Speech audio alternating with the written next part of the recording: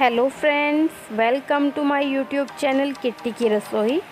Friends आज मैं बहुत ही पॉपुलर राजमा बनाने जा रही हूँ। राजमा फ्रेंड्स हम सबकी फेवरेट डिश है। और राजमा जो है, ये चावल के साथ में बहुत ही अच्छे लगते हैं।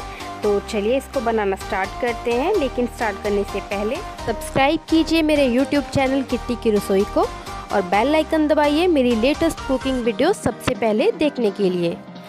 इसको बनाने के लिए सबसे पहले मैंने राजमा लिए हैं। राजमा को मैं सबसे पहले दो से तीन पानी अच्छे से धो लूँगी और इसे मैं पूरी रात के लिए पानी में भिगो दूँगी। आप चाहें तो कम से कम फ्रेंड्स इसे चार से पाँच घंटे के लिए भी पानी में भिगो सकते हो। फ्रेंड्स, मैंने राजमा को पूरी रात के लिए भिगो दिया था। अब मैं राजमा को प्रेशर कुकर में डाल दूँगी और साथ ही में मैं इसमें एक चम्मच नमक ऐड करूँगी। और अब हम इसे बॉईल करने के लिए रख देंगे।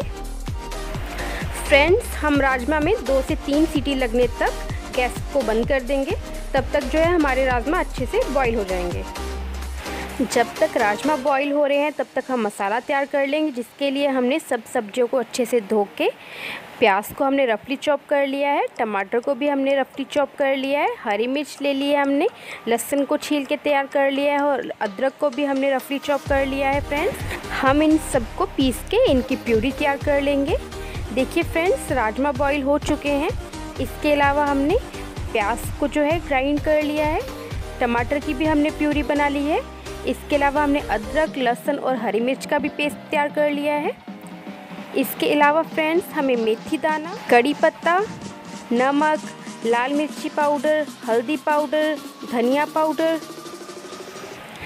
तेज पत्ता, दालचीनी और बड़ी इलायची चाहिए। और इसके अलावा हमें काली मिर्च पाउडर, गरम मसाला और हींग चाहिए। अब हम किसी कढ़ाई या पैन में तेल को डालेंगे और उसको अच्छे से गर्म कर लेंगे। अब हम इसमें तेज पत्ता, दालचीनी, बड़ी इलायची और मेथी दाना डालेंगे और इसको हम 10 से 15 सेकंड तक भून लेंगे। हम इसमें अब कड़ी पत्ता ऐड करेंगे। और साथ ही में इसमें हम हींग ऐड करेंगे।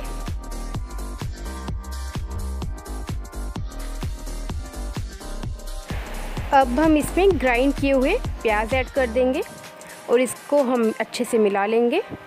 फ्रेंड्स हम हल्का गोल्डन ब्राउन होने तक प्याज को अच्छे से भून लेंगे। अब हम इसमें अदरक, लहसुन और हरी मिर्च का पेस्ट ऐड करेंगे और इसको भी अच्छे से मिला लेंगे।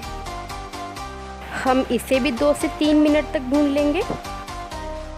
अब हम इसमें मसाले ऐड करेंगे। हम इसमें हल्दी पाउडर, नमक, लाल मिर्ची पाउडर, धनिया पाउडर और काली मिर्च का पाउडर ऐड करेंगे।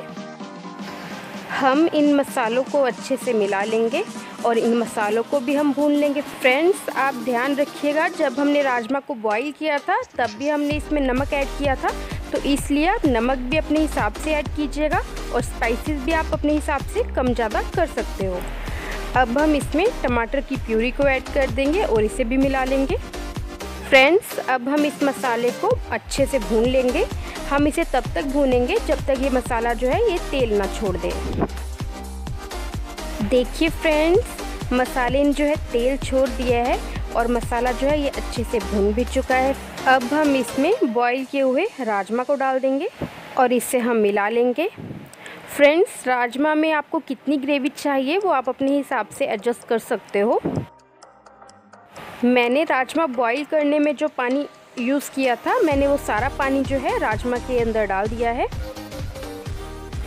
देखिए फ्रेंड्स, राजमा में जो है बॉईल आ चुका है। अब हम गैस को मीडियम फ्लेम पे करके राजमा को ढक देंगे और इसे हम 15 से 20 मिनट के लिए पकने के लिए छोड़ देंगे।